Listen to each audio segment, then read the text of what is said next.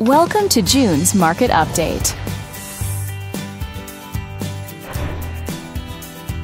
Let's take a look at residential real estate activity in your area during the month of June.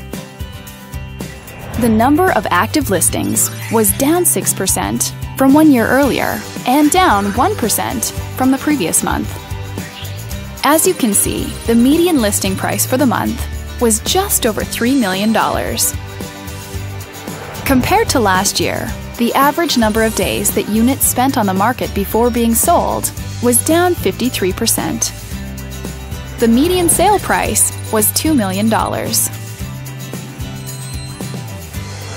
The number of units sold decreased 56% year over year and decreased 42% month over month.